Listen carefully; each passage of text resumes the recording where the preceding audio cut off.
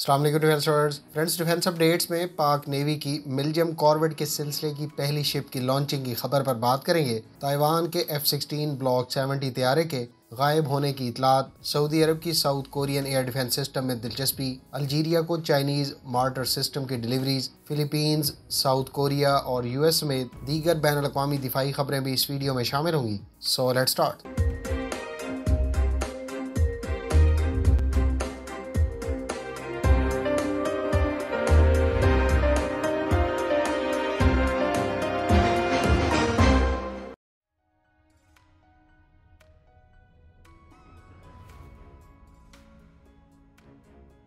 तुर्क सोर्सेज के मुताबिक पाकिस्तान नेवी के लिए तैयार की जाने वाली मिलजम कॉर्वेट्स के सिलसिले की पहली शिप पीएनएस बाबर तुर्की में इस्तंबुल शिपयार्ड से लॉन्च कर दी गई है। इस शिप पर अब वेपन्स और सिस्टम्स के इंस्टॉलेशन के बाद सी ट्रायल्स कंडक्ट होंगे और उसके बाद ये पाक नेवी के हवाले की जाएगी। सोर्सेज के मुताबिक इस सिलसिले की दूसरी ship P N S Khyber की कंस्ट्रक्शन भी जारी है, जबकि तीसरी पी एन एस बदर और चौथी पी एन एस तारिक पर भी साथ साथ काम हो रहा है। पी एन एस बदर यानी थर्ड शिप जिसकी कंस्ट्रक्शन कराची शिप यार्ड में तुर्की के ताउन से जारी है। इसको इस साल के मिड तक लॉन्च कर दिया जाएगा। फ्रेंड्स, अगर आप पाक नेवी की मिलजम क्लास, जिसको अब बाबर क्लास कहा जाता है, इस शिप की तमाम तर तफसीत जानना चाहते हैं तो डिटेल वीडियो का लिंक डिस्क्रिप्शन में मौजूद है।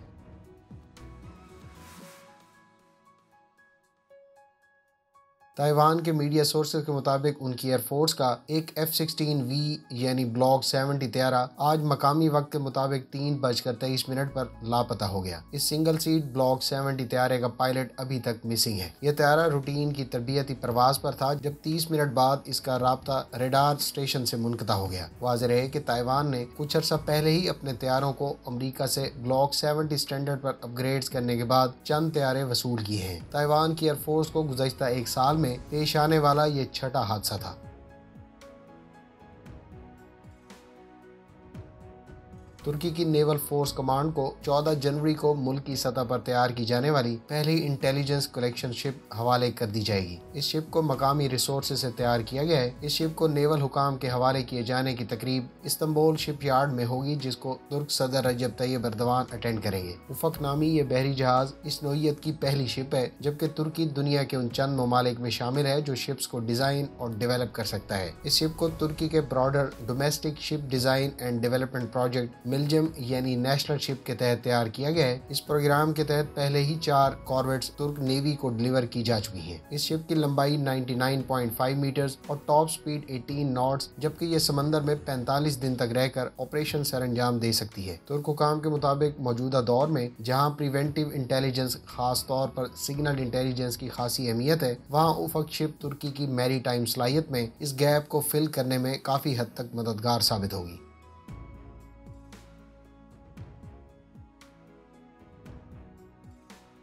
अल्जीरियन आर्मी के बारे में इतलात हैं कि उसको चाइनीज़ साख्ता 120 मिलीमीटर mm की self propelled mortar carrier mounted vehicles deliver कर दी गई हैं। ये mortar system UAE based company NIMR की व्हीकल्स पर नस्ब है, जबकि इस व्हीकल को अल्जीरिया अंडर लाइसेंस मैन्युफैक्चर कर रहा है। ये व्हीकल 600 किलोमीटर की रेंज रखती है, जबकि इसकी top speed 110 kilometre per hour है। दूसरी जानब, चीन ने इस सिस्टम की टेस्ट फायरिंग की वीडियो पहली मरतबा सात जनवरी को रिलीज़ की थी, जिसमें सिस्टम को डोंग फैंग मैंगशी व्हीकल पर नस्ब किया गया। गया था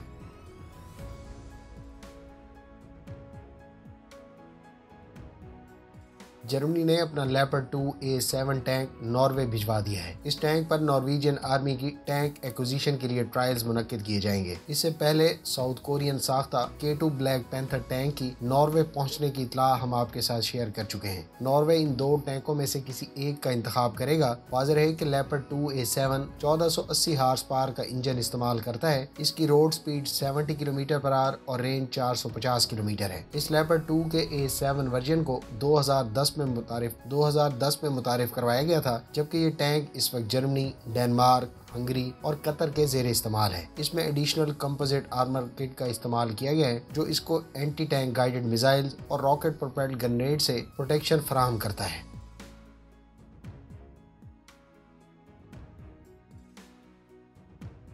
इतलात के मुताबिक साउथ कोरिया ने हाई कोर नामी हाइपरसोनिक मिसाइल की डेवलपमेंट का ऐलान कर दिया है। मीडिया सोर्सेज का दावा है कि साउथ कोरिया ने यह ऐलान शुमाली कोरिया की तरफ़ से हाइपरसोनिक मिसाइल की डेवलपमेंट के ऐलान को लेकर किया है। याद रहे कि अमरीकी कांग्रेस ने कुछ अर्सा पहले एक रिपोर्ट में इंकशाफ किया था कि बहुत से ममालिक हाइपरसोनिक मिसाइल डेवलप कर रहे हैं, जिनकी स्पीड कम से कम मार्क फाइव मुतव है। कोरियन मीडिया सोर्सेज के मुताबिक ये मिज़ाइल मुतव तौर पर मार्क फाइव की स्पीड और 500 किलोमीटर की रेंज का हामिल हो सकता है।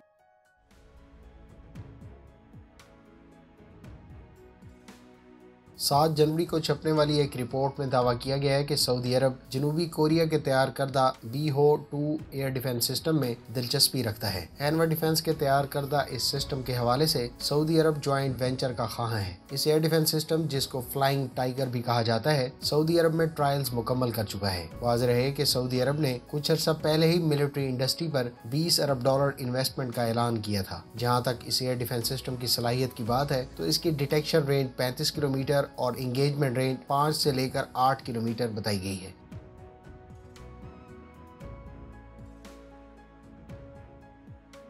फिलीपींस की आर्मी को इसराइली साख्ता 120 मिलीमीटर के M one two five A two mortar carrier deliver कर दिए गए हैं। इब्तदाई तौर पर 15 सिस्टम डिलीवर किए गए हैं। 120 मिलीमीटर इस मार्टर सिस्टम के बारे में कंपनी का दावा है कि ये एक modern battle proven shoot and scoot system है, जो इब्तदाई राउंड 30 से साठ सेकेंड में फायर कर सकता है। इस सिस्टम का rate of fire 16 round per minute है।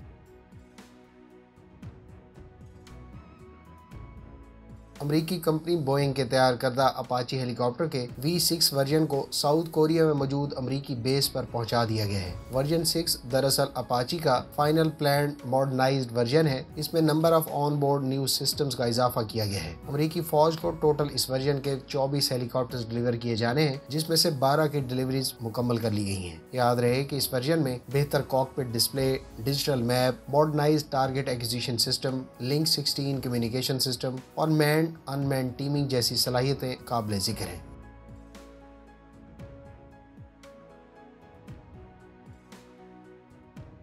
चाइनीज़ मीडिया सोर्सेज का कहना है कि चीन और भारत के दरमियान कोर कमांडर की सतह की बातचीत का फोर्टीन सेशन कल मुनद होगा। इंडिया और चीन के दरमियान लाइन ऑफ़ एक्चुअल कंट्रोल पर होने वाली झड़पों के बाद दोनों ममालिक की फोर्सेज के माबेन बाहम बातचीत का आगाज़ गुजशत कुछ अरसे से जारी है, ताहम इसमें कोई खातिर खा पेश रफ देखने को नहीं मिली। दोनों ममालिक एक दूसरे पर इन मुजाकर की नाकामी का इल्ज़ाम आयद करते चले आ रहे हैं।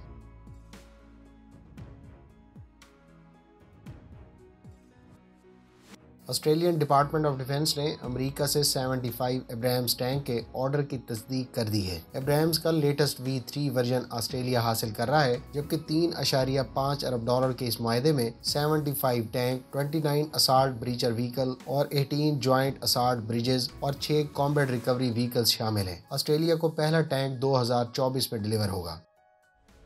फ्रेंड्स ये थी आज की डिफेंस अपडेट्स उम्मीद है इस वीडियो से आपकी मालूम में इजाफा होगा. मिलते हैं नेक्स्ट वीडियो के साथ. अपनी दो में याद रखिएगा. अल्लाह हाफिज़. पाकिस्तान, जिंदाबाद.